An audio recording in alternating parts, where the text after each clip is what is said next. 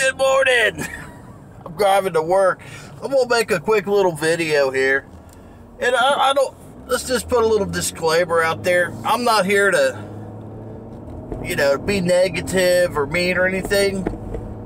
Uh, but I want to put a little bit more two cents in on this deal with this this MoFi. This MoFi thing. I guess it's been a it's been a big deal, and uh, a lot of people they found out that you know basically that these record companies are hustling them for more money on a on a record. You know, they're like, oh, we got this MoFi record, so it's going to cost twice the amount, and it's not it's not uh, originally analog and all this. You know, so people are freaking out, man.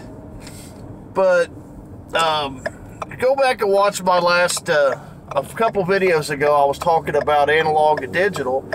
Kind of explains it. It talks about how what is analog, you know, and and a lot of people they still think that these are digital records. They're not digital. If their needle hits them, it's analog. If it sounds good, enjoy it, you know. But my thing is, is, is my problem has always been with these fucking hustlers, man.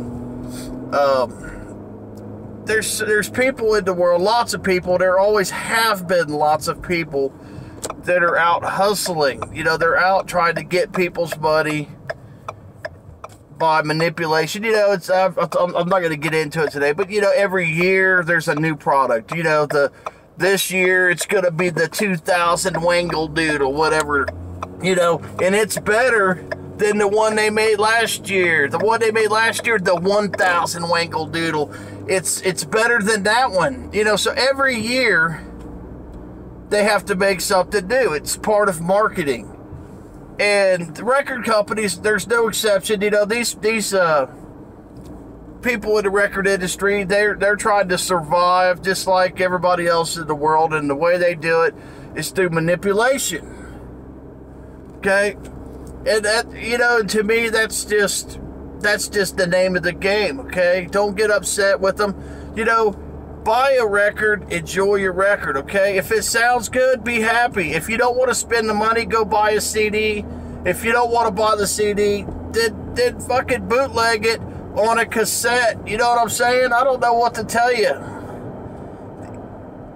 That's, you know, that's one of the reasons why they wanted to get away from the cassettes because people, they could uh, make their own music, and, you know, it kind of hurt the industry. And you got to be careful, okay? Now, this is one of the reasons I wanted to make this video today, is you got to be careful who you listen to in the vinyl community, okay? Because there's a lot, there's these hustlers in there, and right now there's a lot of hustlers in the vinyl community. They're doing damage control because the cat's out of the bag. They're doing damage control. Oh, we gotta fix this mess, you know. you know, all these records that a lot of people have, they just come to find out they're worth about the same as the regular record, you know, because they're not real. They're di- digitalized. They're digitalized, you know, whatever. But, you know, there was, uh, I've always seen people under hustling, man. They always look for people, a good opportunity to hustle.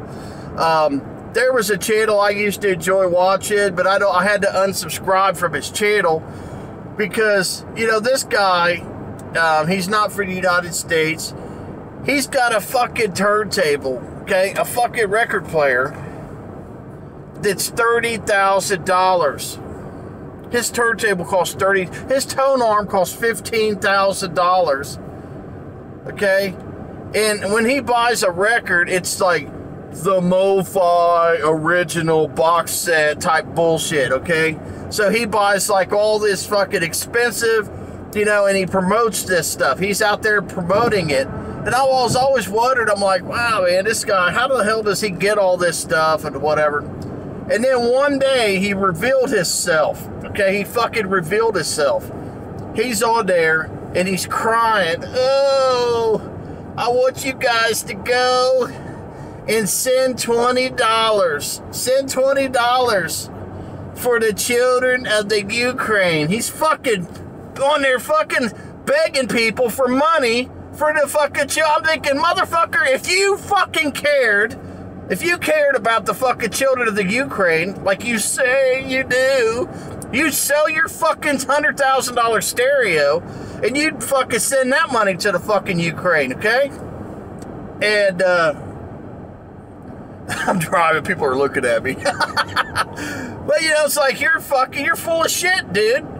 You know, don't act don't get on here and expect me to send you money because you're having a fucking little bit of an emotional whatever and you're fucking trying to hustle me when you got a hundred thousand dollar fucking stereo you buy fucking five hundred dollar records like they're going out of style and then you're on there fucking promoting this shit okay you're you're selling and promoting all this mofi bullshit whatever you want to fucking call it it's bullshit man and they're out there there's fucking plenty of people out there and they're fucking selling shit. That's how you can tell a hustler, okay? That's how, just pay attention.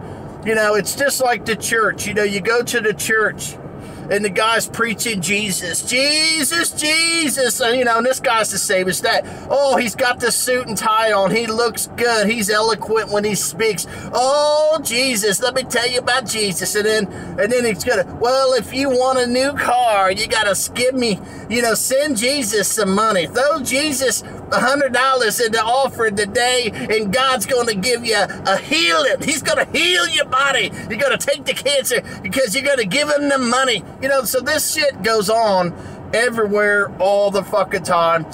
What you got to do is got to be cautious. When these fucking people start asking you for fucking money, then you know they're fake, they're phony, they're fucking frauds.